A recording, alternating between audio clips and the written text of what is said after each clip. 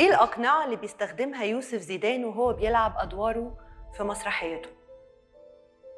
لا أنا مش أنا مش مقتنع بحكاية الأقنعة دي لأنه آه، هي هي أبعد ما تكون عندي يعني.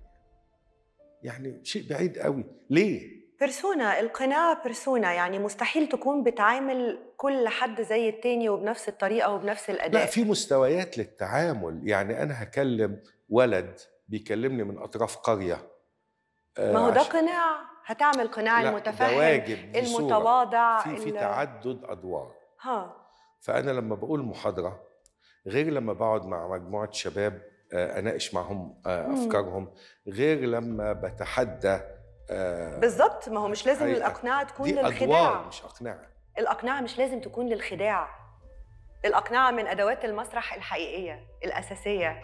طيب بس أنا أفضل أسميها أدوار إنه أنت وأنا والتاني والتالت بيلعب دور مع طفل صغير ومع آه، شخص بيعاديه وشخص بيحبه. دي أدوار مختلفة. يوسف زيدان بيتنصل من الأقنعة؟ مش بيتنصل بسميها الأدوار هم. المطلوبة مننا ما دامت هي مسرحية. طب إيه الأدوار اللي بتلعبها؟ لا حاجات كتير. عندي دور آه واسع جدا مع اللغة. اللغة دي قصتي الكبرى.